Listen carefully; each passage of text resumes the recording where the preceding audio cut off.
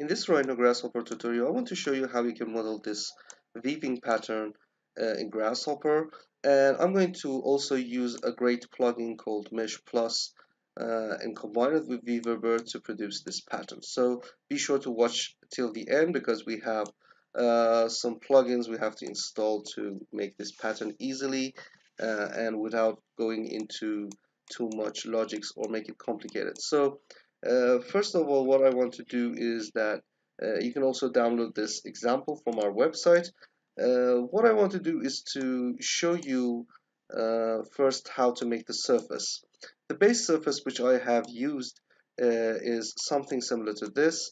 So what I want to do is to make a curve and make this with a sweep command. So I'm going to go to the curve command, control point curve, and draw a curve and what I want to do is to give this uh, two sections at the start and at the end and make a sweep to make the surface okay so we can go to the C-planes and use this C-planes perpendicular to curve. We'll click on this select the curve bring it to the front. So I can just draw a curve from here. I'm going to draw a curve. And remember you don't have to snap to the other point so be sure to draw here or you can just disable the snap and draw it. Okay so this is the base curve. And then what I want to do uh, is to go to the perpendicular frame again click here and draw the second curve. So I'm going to draw this. And then we can go here and select the C-plane world top to go back to our top uh, world plane. Now what we want to do is to click on the record history and use the sweep command sweep 1 uh, select the rail and select the section section 1 section 2 uh, and then OK okay you can see that we have produced that surface. And now the best thing is that you can change the surface by changing the control points of the curves. You can see that I can move this control point up and down and change the base surface. Uh, or I can also change the control point of this curve by moving it inside and changing the results. So remember you can simply use the record history and this command to produce the surface.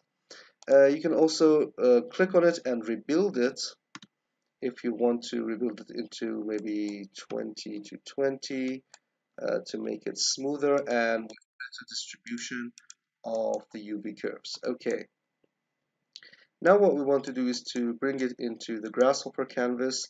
So let me just put the bifocals plugin so you can see this. And I'm going to select the surface, set the surface to this one, and turn this off. This is the base surface we want to work with. Uh, the most important thing with the weaving pattern is that you have to install the Mesh Plus plugin. So if you install it, I'm going to uh, put it in our website. You can also uh, find it in the food4rhino.com Mesh Plus. Uh, you can see after installing it, we have a weaving uh, pattern here. So there are different patterns you can use, uh, and I'm going to use this touch one. You can also use different uh, and change it later if you want. I'm going to show you at the end that we, we can also use other ones. So if I put this on the canvas, you can see it's going to give you an input. We have also talked about this in the course. Uh, several patterns we have talked for uh, producing parametric rings and jewelry, producing patterns on a surface. So remember, if you want to know more about this, you can also watch our course or enroll in our course. So this one is the mesh you want to give it. So you can see it's a G and it's open or closed mesh. And what we can do is to go to the mesh section utility and select this mesh surface. The reason I'm doing this is because the mesh surface is going to give you a nice distribution of uh, meshes in the UV count. And then we can produce that weaving pattern on it. So let's just give maybe from 3 to uh, 12 copy this and give it to the u count v count increase this. Uh, we can simply just change the div divisions to what we need and now we have this mesh and you can see if I bake this we have a simple mesh uh, on the surface. Uh, what we wanted to do is to give this mesh let me just turn this off uh, to the G and this is the first step. You can see that there is some patterns on this okay? The next part is the T's and if you see the T's it's also let me just show you in the mesh plus plugin uh, if you go to the weave, maybe weave pattern you can see that it has T0 T1s it can also be uh, something like T1 T2 T3 it's usually between 0 and 1 so if I give a number slider between 0 and 1 to the T0, you can see that when I increase it to 0, it's going to fit. And if I go to 1, it's going to make it small. So remember, you can easily change the widths of the weaving pattern with this T parameters. The next one is the D, and it's really beautiful. Uh, it's going to move those control points in the normal direction of the surface and you can see how easy it is to produce this pattern and make this weaving pattern by just changing the D if you increase it it's going to go to the normal direction and make something like this it's basically uh, relative to your project so remember you have to change this uh, based on your projects. Okay we are good to go and you can see that if I bake this uh, we have this mesh pattern on this one right? And we have this like here. And at the end what we want to do is to make it a little bit smoother right?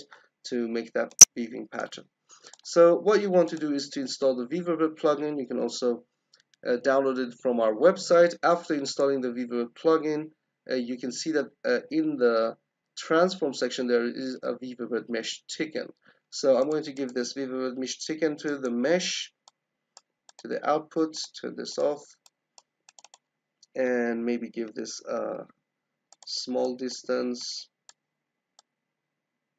okay. This will help you to give it a thickness and it's really cool uh, for projects or chain things. And this is the next step. You can use it. Uh, remember it is based on your project so if it goes too much it's going to intersect with the mesh. So remember you have to give it a reasonable uh, thickness.